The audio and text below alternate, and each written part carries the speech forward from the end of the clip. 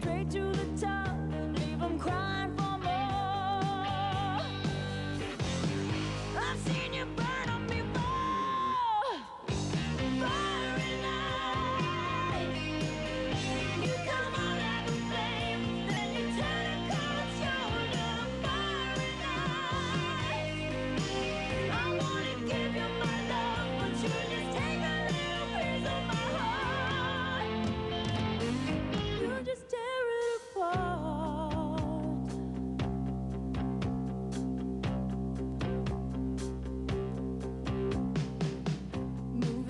for the kill tonight.